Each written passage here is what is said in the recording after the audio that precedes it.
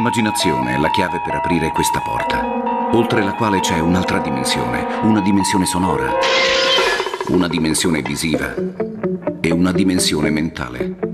Vi trovate in un mondo fatto di sostanza e ombre, di oggetti e idee. State per arrivare ai confini della realtà.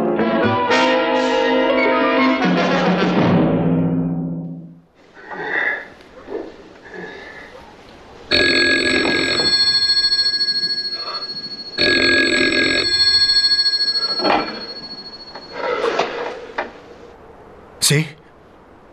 Il maggiore Kuchenko? Chi è che parla? Lei è il maggiore Kuchenko, vero? Con chi sto parlando? Maggiore, lei non mi conosce, ma ho sentito del suo recente arrivo qui e volevo farle sapere che ha degli amici. Con chi parlo? Anche lei è un amico, forse? Sì, un ottimo amico, Maggiore. Lei ancora non mi conosce, ma avrà presto l'occasione. Le devo chiedere di non lasciare la sua stanza. Eh, perché? Perché dovrei rimanere nella mia stanza? Vedrà, la contatteremo presto, Maggiore. La sua incolumità ci sta molto a cuore. Ora, commissario. Maggiore? Posso contare sul suo buon senso? Per la sua incolumità resti dov'è. Vedrà molto presto i suoi amici. Arrivederci. Ora, commissario.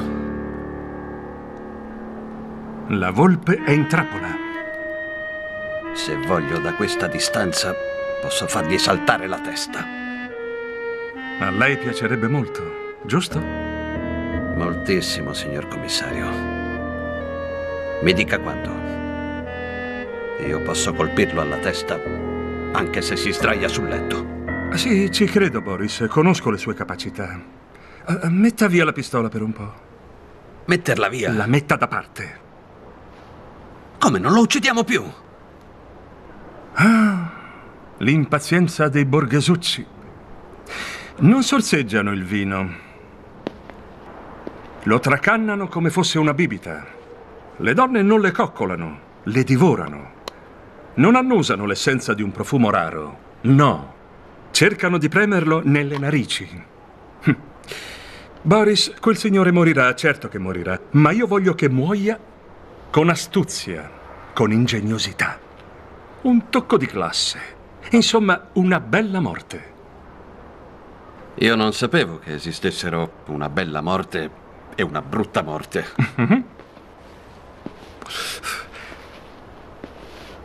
Una bella morte è una morte artistica, una brutta è una morte da macellai. Lei, Boris, è un macellaio, io sono un artista.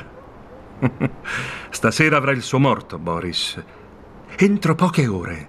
Ma uccideremo con modalità artistiche, non con una mannaia o una pallottola esplosiva o altri mezzi da macelleria. No, no.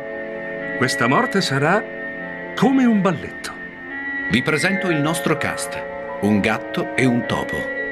Ecco il secondo. La vittima forse sa o forse no che sta per morire, che sia per opera di un macellaio o di un artista.